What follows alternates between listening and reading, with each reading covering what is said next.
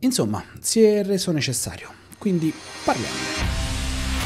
Salve a tutti amici e benvenuti in questo video dove analizziamo un pochino lui, il Mac Mini M4. Questo video si è reso necessario dopo le mie opinioni, video ovviamente che strizzava l'occhio all'essere guardato dato il titolo, che erano i 5 motivi per cui non comprare un Mac Mini, che in realtà era totalmente goliardico. Mm, alcuni l'hanno capito, altri invece un pochino no, volevano ascoltare una vera seconda opinione. Ed ecco la mia opinione. Prima che mi dimentico, iscrivetevi al canale perché è una pratica gratuita per voi e che a me dà un enorme boost. La mia opinione però arriva dopo averli provati. Sono arrivati circa una settimana fa e ne ho presi due. Ho preso il Mac Mini M4 base, quindi quello da 730 euro, una cosa del genere, e l'altro che è praticamente esteticamente uguale, ma è il Mac Mini con M4, la versione configurabile, l'unica disponibile su Amazon, non quella configurabile dal sito Apple. Quindi ho testato quella che è la macchina disponibile su Amazon attualmente, che è la configurazione base dell'M4 Pro. Prima di addentrarci un attimo nell'analizzare cosa ho fatto e dei computer in sé, delle differenze tra i due computer,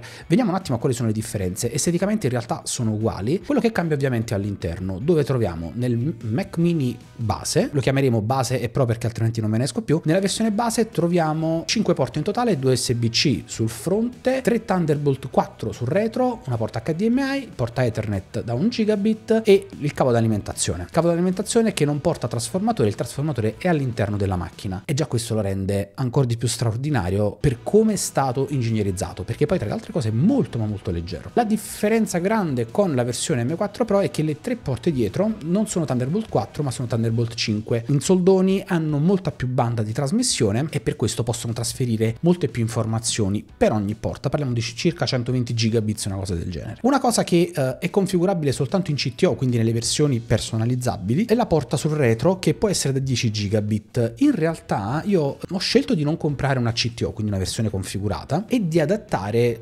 questa macchina con un adattatore per superare la gigabit. Mi spiego.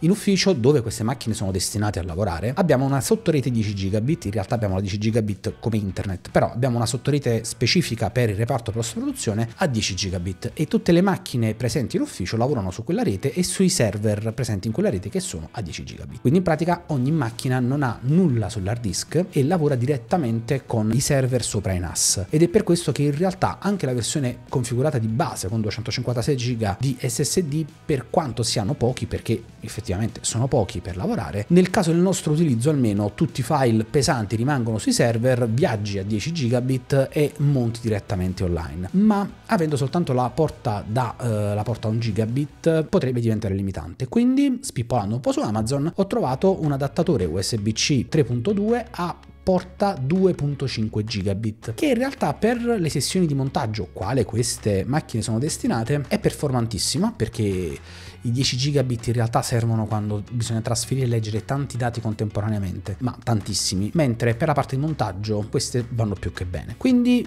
in pratica con 20 euro, lascio il link qui sotto in descrizione se qualcuno è interessato a questo tipo di adattatore, con una ventina di euro ho risparmiato circa 150 euro, se non vado errato, che è la richiesta di Apple per avere quella porta configurata sul retro del Mac mini. Ovviamente per chi dovesse acquistarlo e sceglie di utilizzare quel tipo di porta e ne ha necessità probabilmente se va a fare una configurazione un pochino più complessa, infilarci quei 100 euro in più male non fa per avere la 10 gigabit. Qual è stato il mio approccio verso questi test, questa chiamiamola recensione quando in realtà in realtà è una mia opinione un pochino più approfondita riguardo questi computer è stata di tipo pragmatico, quindi capiamo quali sono i suoi limiti, ovvero capiamo dove sono i limiti di queste macchine, oltre a quelli della scheda tecnica ovviamente, mettiamole al lavoro e vediamo che cosa succede. Questo diciamo è stato il mio approccio, ma mettiamole al lavoro in un ambito specifico, perché questa macchina da 729 euro senza fare alcun test, quindi guardando semplicemente la scheda tecnica e quello che Apple ci dice già vi posso dire che per l'home automation, per uno studente, per, da utilizzare come media server, da utilizzare come server per la domotica, da utilizzare come computer di casa per navigare, scrivere documenti,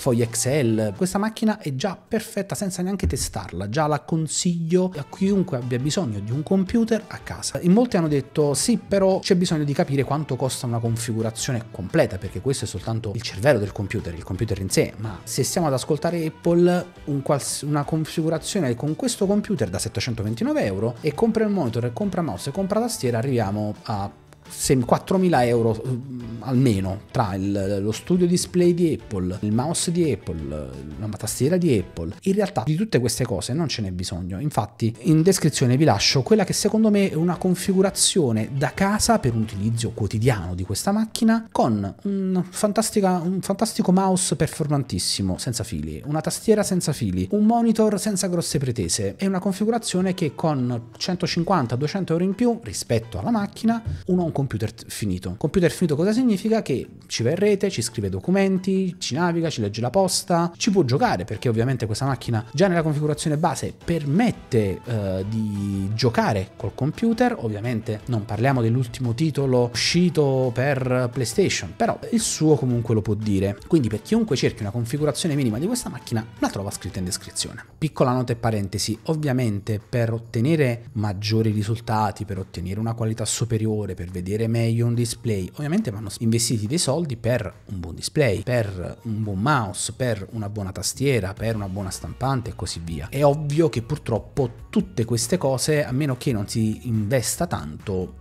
non si possono ottenere. Io per esempio utilizzo in casa lo studio display di Apple, ma lo utilizzo vicino a una macchina che è un M2 Ultra, quindi una macchina con un certo valore economico di investimento per lavorare e utilizzo questo monitor non perché sia il migliore, ma perché un po' per il compromesso funzioni, design, eh, qualità l'ho preferito pagando un pochino in più. In ufficio per esempio abbiamo monitor che secondo me rendono meglio di uno studio display di Apple e che costano pff, meno della metà, molto meno della metà. Come abbiamo monitor tarati, super, mega, wow per lavorare che costano il triplo di, un, di uno studio display, costano quanto un XDR display di Apple. Quindi ci sono i pro e i contro un pochino in tutto, inf- questa è informatica, quindi è sempre stato così, si paga per quello che si ottiene e soltanto posso già annunciarvi che in questo caso si paga meno di quello che si ha. Quindi forse uno dei pochi casi dove Apple dà più di quello che costa la macchina. In realtà è sempre stato così, però almeno dal punto di vista personale che sono un utente Apple da tanti anni, potete chiamarmi anche fanboy Apple, però io la vedo in questo modo. Veniamo quindi ai test che ho eseguito. I test in realtà non li ho eseguiti solo su queste macchine, ma li ho eseguiti anche su tutte le macchine a cui avevo accesso in queste settimane. A schermo vi compariranno a mano a mano che li, che li spiego tutti i dati per ogni tipologia di benchmark che ho eseguito e inoltre in eh, descrizione trovate il link dove avete lo schema completo di tutti questi benchmark con anche dei filtri per andare a guardare la classifica benchmark per benchmark. Questo link lo terrò sempre aggiornato. Ogni volta che farò una recensione aggiungerò una macchina così da avere uno storico anche per il futuro. Allora io a disposizione per far effettuare questi benchmark e per confrontare anche con macchine da lavoro avevo a disposizione un Mac Studio con un M1 Max un Mac Studio con M1 Ultra un, Mac Studio con M2 Ultra, un MacBook Pro con M3 Pro, un Mac Mini M4, un Mac Mini con M4 Pro e poi tre PC. I PC li ho inseriti perché secondo me va tenuto in considerazione anche il rapporto qualità-prestazioni con un PC. Questi nello specifico possono sembrare PC da gaming, in realtà lo sono, ma hanno determinate specifiche caratteristiche che ci permettono di poterci lavorare. Di questi tre computer ho elencato semplicemente processore e uh, eh, GPU e in realtà nello schema troverete anche le RAM. Mm, la maggior parte sono da 128 GB di RAM, uno da 96, i Mac mini sono da 16 e da 24, un, l'M1 Max Mac Studio è da 32 e il portatile, quindi il MacBook Pro con M3 Pro è da 24. Insomma, sono tutti numeri che potreste perdere, quindi vi rimando al link qui sotto per andare a vedere tutte le macchine. Ora, come li ho confrontati? Da prima sono eh, partito col fare un, un, giro di benchmark su tutte le macchine per poi arrivare alla parte di pratica di test. I benchmark che ho fatto sono il Geekbench, sia single core, multicore e GPU, ho fatto il Cinebench in CPU e in GPU e poi tre benchmark miei che sono in realtà tre progetti uh, su tre software differenti che ragionano in tre modi diversi e che fanno partire più o meno risorse hardware tra GPU e CPU e sono un benchmark su Fusion che non è altro che un, un progetto, una composizione abbastanza complessa passatami da un mio collega che fatta partire con tutti i computer allo, allo, stesso identico modo, le stesse identiche impostazioni, a me ha impiegato un tempo. Nello specifico il valore che io andrò ad elencarvi è il tempo di calcolo medio per frame. Lo spiegherò anche dopo quando parleremo dei benchmark. Un altro test invece è il render di, di un progetto di After Effects, stesso identico ragionamento, il valore che vi dirò è il tempo impiegato di render e stessa identica cosa fatta invece con DaVinci Resolve dove c'è una timeline con dei file Harry Raw quindi molto pesanti, trattati in maniera molto pesante con un denoise potentissimo, con delle lavorazioni sopra, insomma nulla da vedere in realtà ma erano dei test fatti per sforzare le macchine. Partiamo da dai benchmark di Cinebench. Cinebench è un software che potete trovare online e fare il vostro benchmark. Io ovviamente non mi fido di quelli che trovo online, mi sono messo io a spippolare e fare uh, il mio benchmark personalizzato. Allora, che cosa è uscito fuori? Andando a parlare dei benchmark di Geekbench, partiamo da quello, quello a single core, ve lo lascio come informazione all'interno del documento, perché ovviamente Geekbench dà doppio valore sia il calcolo, il benchmark per singolo core che per il multicore, dato che qua parliamo di, di valori interessanti in generale, qua parliamo di valori interessanti per l'utilizzo pratico, quindi parliamo direttamente del benchmark per il multicore, quindi l'utilizzo a più core. Mac mini con M4 Pro si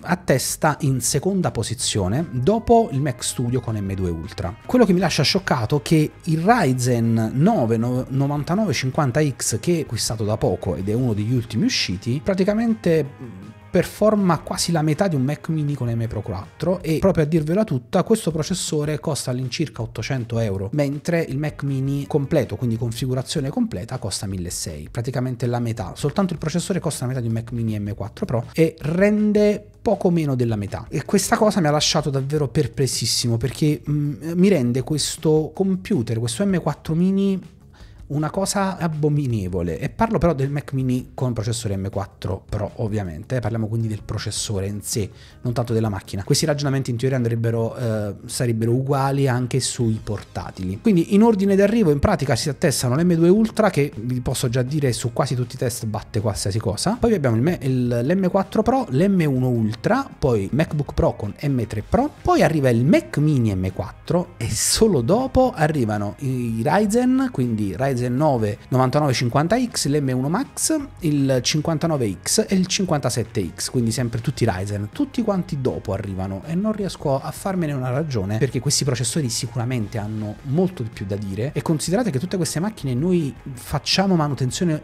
praticamente ogni giorno aggiorniamo driver, facciamo check sul loro funzionamento e rimango veramente sbalordito da questi numeri perché in pratica non riesco a, a capacitarmene di quanto sia potente questa macchina. Probabilmente dirò questa cosa troppe volte e a qualcuno darà molto fastidio. Quindi passiamo invece a un altro benchmark, sempre con Geekbench, eh, ma al benchmark della GPU. Ovviamente qui avendo in gradatoria un RTX 4090 mi aspettavo che fosse in prima posizione perché è una GPU molto ma molto potente. Infatti andando a fare questo raffronto troviamo quello che mi aspettavo, il primo posto la RTX 4090, secondo posto l'M2 Ultra che se sapete GPU i core di CPU e GPU sono nello stesso processore, quindi il nome è unico. Poi troviamo la RTX 3080, poi l'M1 Ultra e fine qui praticamente non mi aspettavo nulla di diverso. Sempre come GPU troviamo poi l'RTX 4060 Ti e poi in coda M1 Max, M4 Pro, M3 Pro e infine l'M4. Ora questi dati io me li aspettavo, infatti mi aspettavo che si attestasse in generale la classifica in questo modo, però eh, gli unici punti, gli unici benchmark dove l'M4 e l'M4 Pro sono andati male rispetto uh, alla classifica generale sui competitor sono soltanto i benchmark relativi specifici alla GPU e questo me lo aspetto perché ovviamente queste macchine, l'M4 non ne parliamo, ma l'M4 Pro e l'M3 Pro hanno molti meno core dedicati alla GPU rispetto a M1 Ultra e M2 Ultra invece che ne hanno molti di più e possono andare a confrontarsi con schede come schede video come l'RTX 3080, la 4060 o addirittura la 4090. Io per esempio l'M2 Ultra e l'M1 Ultra non sono le configurazioni massime disponibili per eh, i core di GPU, ma sono quel, la configurazione intermedia. Eh, probabilmente questo inficia, inficia tantissimo l'utilizzo della GPU. Per quanto riguarda il Geekbench GPU vince ovviamente la 4090, l'M4 Pro e l'M4 non fanno grandi numeri. Io sono di un avviso che la grande potenza di questi computer e dei processori Apple Silicon sia nell'abbinata CPU-GPU, quindi quando i core lavorano contemporaneamente. Quando succede questa cosa, e succede per esempio sui software come Fusion, DaVinci, un pochino anche su After Effects, quando lavorano in combinata fanno esplodere tutto, perché non è come Windows che o fai lavorare la CPU o fai lavorare la GPU. Apple probabilmente ragiona e fa ragionare le proprie macchine in modo totalmente diverso, facendole lavorare insieme. E quando fanno lavorare insieme CPU e GPU costantemente, le performance sono straordinarie. E questa cosa la vedremo quando parleremo dei benchmark, quelli fatti da me sui test pratici. Passiamo adesso a Cinebench. Non voglio soffermarmi troppo in realtà, però facciamo una scorsa un, un po' più veloce. Parliamo di Cinebench, quindi Maxon con Cinema 4D ha il proprio benchmark, sia versione CPU che versione GPU. Nella versione con CPU vince M2 Ultra, poi viene l'M1 Ultra, RTX 4090 e poi troviamo l'M4 Pro. E questa classifica me l'aspetto ed è quella che volevo leggere. Mi aspetto di leggere prima M2 Ultra, M1 Ultra e poi in realtà il Ryzen 9950 perché sono processori più complessi e più costosi. E subito dopo troviamo l'M4 Pro che batte un Ryzen 9 5009X, l'M3 Pro e me lo aspettavo, l'M4, l'M1 Max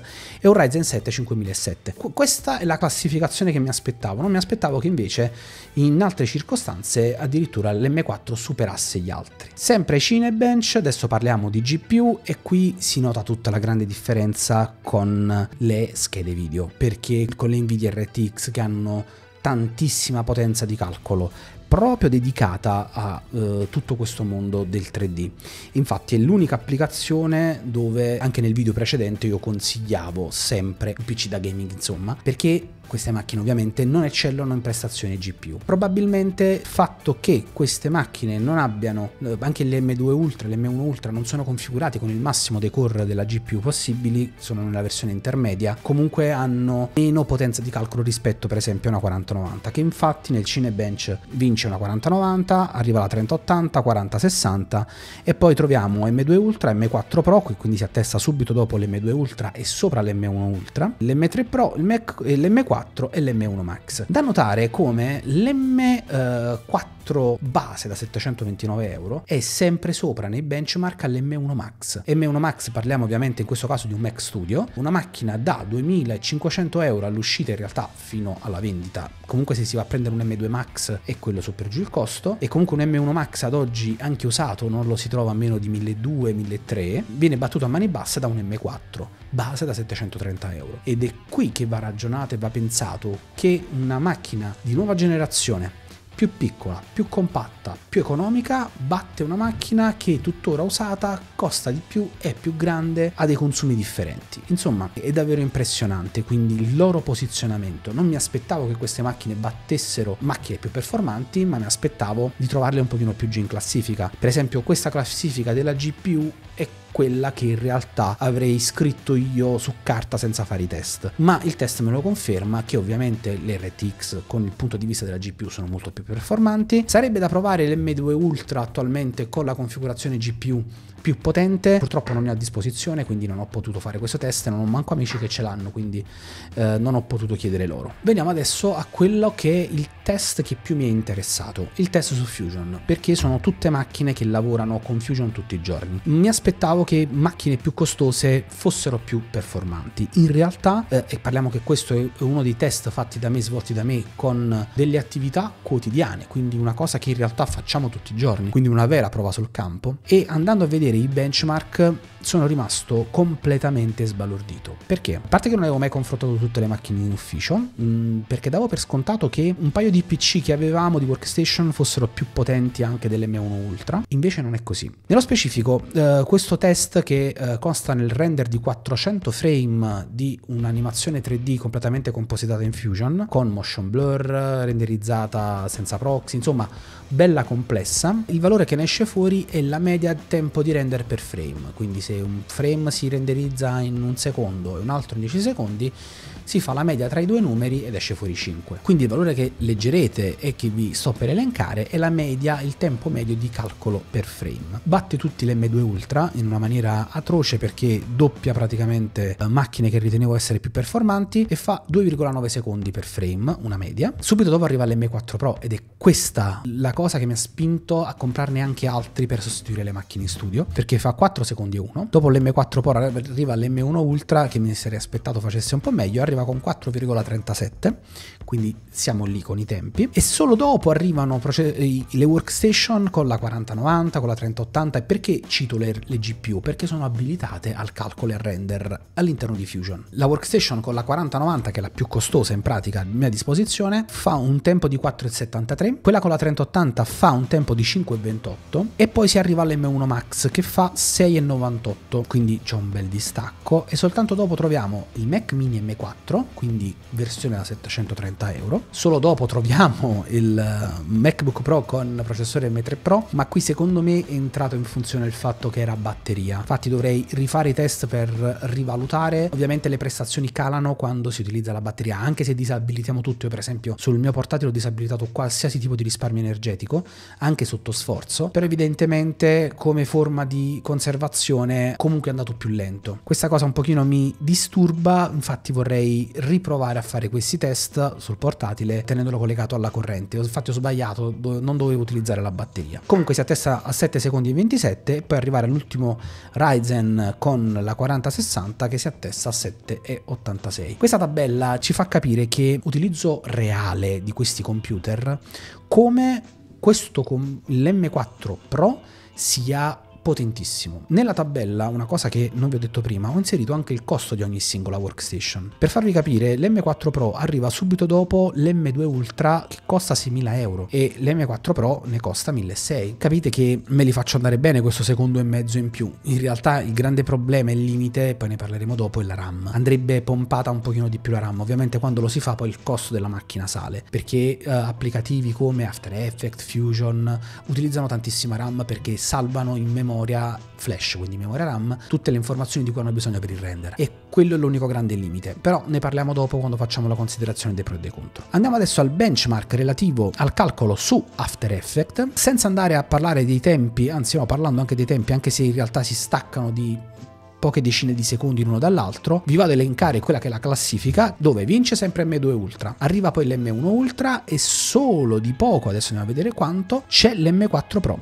L'M4 Pro si stacca di circa 30 secondi dal secondo classificato nel tempo di render e solo dopo arrivano il PC con Ryzen 9 9950X che tenderò sempre a nominarlo perché l'ho pagato 850-800 euro sto processore con la RTX 4090, poi dopo il portatile, il MacBook Pro con eh, M3 Pro, poi arriva l'M4, quindi sempre questo, che fa un tempo di 4 secondi e 20, quindi neanche malaccio in realtà. E poi dopo arriva l'M1 Max, che poverello ormai è alla fine dei suoi giorni praticamente, e solo dopo gli altri due PC. Non, non riesco a comprendere le motivazioni. Quindi rimango completamente ancora sbalordito dalle prestazioni di questi computer. Chiudiamo invece con uh, l'ultimo benchmark che ho fatto, che è quello di DaVinci Resolve. DaVinci Resolve è il software che sfrutta meglio la GPU di tutti i software che utilizziamo quotidianamente da Premiere, After Effects, Fusion, DaVinci e quant'altro, oltre ai programmi 3D che sfruttano la GPU per il calcolo, DaVinci è l'unico che la riesce a sfruttare sia su Mac che su Windows indipendentemente al meglio. E qui infatti esce fuori tutta la potenza della 4090 che vince il test con il render in un minuto e un secondo. Solo dopo arriva l'M2 Ultra con 2 minuti e 59 secondi, poi M1 Ultra con un minuto in più e dopo arriva l'M4 Pro. Ma questa classifica ancora una volta mi sbalordisce perché comunque l'M4 Pro rimane sopra tutto il resto delle macchine. Il tempo è un pochino più lungo, però diciamo che mi accollo la differenza di tempo di questo render rispetto al costo della macchina. Perché se le altre macchine hanno un costo tra i 6.000 e i 4.500 euro questa con M4 Pro costa 1.600 euro. Quindi sto utilizzando sempre la macchina da 1.600 euro. Che in un ambiente professionale quando si lavora beh c'è da fare la differenza se si utilizza una macchina che ha un costo piuttosto che un altro perché fa tanta differenza uh, se io devo adoperare 10 workstation per far lavorare gli artisti e spendo 6.000 euro a workstation è un costo impegnativo, se ne spendo 1.500 è un altro costo. Questi benchmark cosa ci raccontano? Ci raccontano che questa macchina, nello specifico il Mac Mini M4, diventa veramente un must have per chi fa attività di elaborazione immagini e quando parlo di elaborazione immagini mi riferisco esplicitamente a fotografi, grafici, impaginatori, programmatori perché sono eh, tutti i test che ho fatto superano di gran lunga le richieste hardware di queste figure professionali che vi ho spiegato. Per esempio l'M4 Mini base è un'ottima macchina per fare editing. Infatti uno dei video caricati sul canale l'ho montato proprio con questa macchina qui e tra le altre cose i file non erano neanche conservati sull'hard disk sull'SSD ma era collegato tramite porta LAN 2,5 gigabit a un NAS dove prendeva i file e io non ho mai avuto neanche un secondo di lag, un problema. L'unica cosa un pochino più lunga è stata il tempo di render, ma più lunga comunque perché il video era lunghetto e eh, dato che io monto con DaVinci una cosa che DaVinci fa quando esporto mi dà quanti fotogrammi al secondo sta elaborando e ne elaborava comunque 115, quindi era comunque veloce. Questo numero l'ho visto anche molto più elevato sulla uh, workstation con la 4090 su M2 Ultra, però ci sono stati picchi a 100 fotogrammi elaborati al secondo anche dal Mac Mini M4 base. E ragazzi, parliamoci chiaro, se uh, sono un professionista ed ho bisogno di una seconda macchina per montare o una prima macchina per montare, una prima macchina non prenderei mai l'M4 base, prenderei comunque un M4 Pro, ma con l'M4 base una seconda postazione di montaggio ce la faccio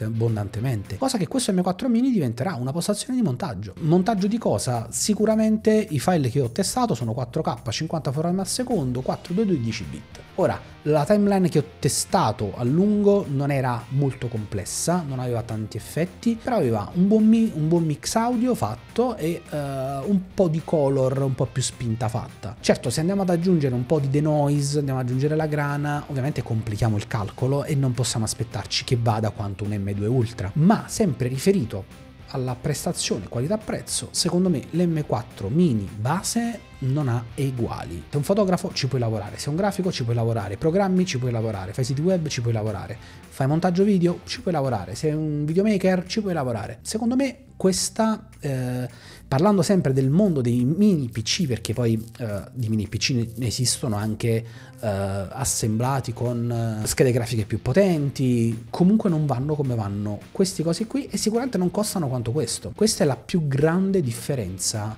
eh, per il quale io consiglio questo tipo di macchina. Veniamo adesso a quelli che sono per me i contro che ho trovato nei Mac mini. Li elenco un pochino a caso. Il primo sicuramente è la critica che ho fatto anche a M1, uh, ai computer con M1, i Mac Studio, la non aggiornabilità. Cioè se io compro una macchina con 16 GB di RAM non posso farci nient'altro che tenermela così per sempre. Questo in realtà è il più grande limite di queste macchine, il fatto di non poter essere aggiornate.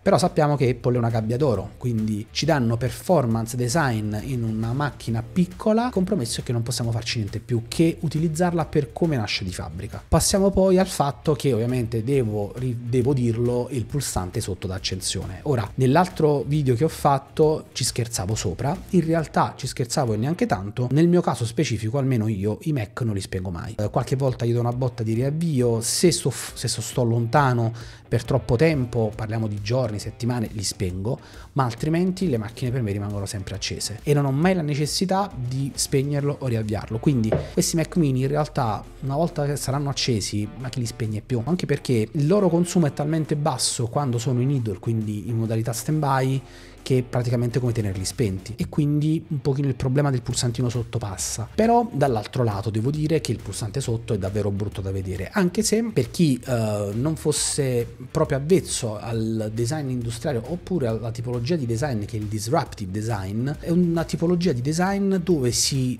volutamente il designer complica un'azione per fare in modo che questa azione non venga effettuata. Nello specifico Apple più volte ha fatto uso del disruptive design per disabituare l'utente a fare una determinata azione al quale è sempre stato abituato. Pensiamo per esempio al jack delle cuffie sull'iPhone.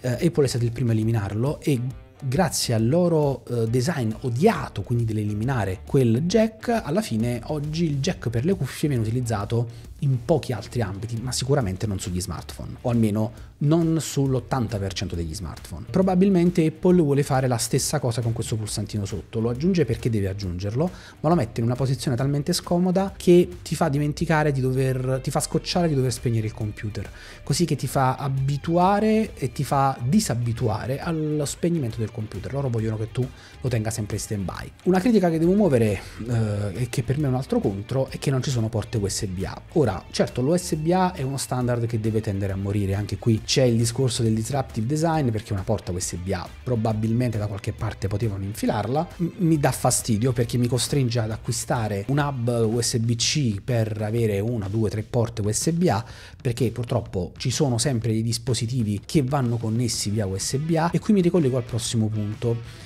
che è una cosa che me ha dato fastidio già su uh, i Mac Studio in realtà, che c'è un problema, quando si comprano di questi non si hanno tastiere mouse Apple. Infatti se noi non compriamo una tastiera un mouse Apple, un Magic Mouse e una uh, Magic Keyboard, noi uno di questi non possiamo avviarli se non collegando una tastiera e un mouse con cavo, uh, perché soltanto dopo aver collegato una tastiera e mouse con cavo, abilitiamo il sistema operativo, facciamo tutta la prima configurazione, solo allora potremo utilizzare il Bluetooth per connettere una tastiera e un mouse Bluetooth. Eh, mentre con tastiera e mouse Apple alla prima accensione c'è una pratica nello specifico, si mantiene premuto il tasto di accensione, si abbinano direttamente mouse e tastiera.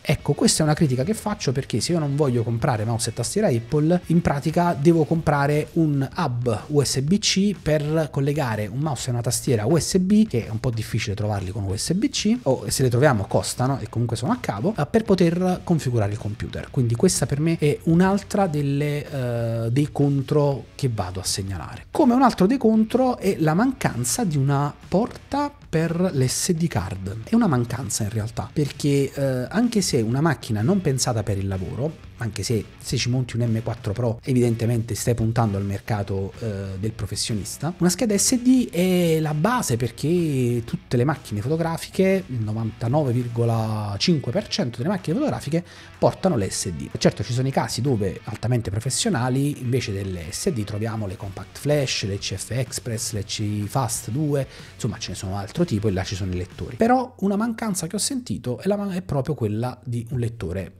SD. Un altro contro che voglio segnalare è il fatto che comunque quando so- sono sotto sforzo la ventola si sente. Ora non è un problema, però sono abituato al Mac Studio dove sotto sforzo non si sente assolutamente nulla. Questi ovviamente sono più piccoli, sono, hanno un'ingegnerizzazione complessissima e sotto sforzo il Mac Pro mi è successo con il Mac eh, con l'M4 Pro, a un certo punto la ventola è partita perché si vede che lo stavo cannando bello a bestia, quindi quando si esagera la ventola parte, però in quel caso vi posso assicurare che era alla fine di tutti i benchmark e stava facendo il benchmark di uh, DaVinci Resolve, quindi dove sparava a palla GPU e CPU. E poi lo cito come un contro, in realtà devo mh, verificare il perché, il perché, ha fatto questo errore. In ufficio ho un monitor con un monitor LG configurabile tra, tramite USB-C, quindi si collega tramite USB-C e prende il segnale. Infatti questo monitor è affiancato vicino all'M1 Ultra e ci lavoro serenamente. Vado a collegare qui eh, vicino l'M4 Pro, sì sì era l'M4 Pro stamattina e quel cavo non funzionava o meglio non mi leggeva né le porte USB dietro al monitor né mi passava il segnale video, mentre collegando un cavo USB-C DisplayPort funzionava. Questa cosa devo capire se è un problema di quel cavo della mia macchina, di, quel tipologia, di quella tipologia di monitor, o se è una cosa generalizzata che non si possono abbinare computer, monitor con l'USB-C. In realtà io i test li ho fatti con lo studio display di Apple che è soltanto USB-C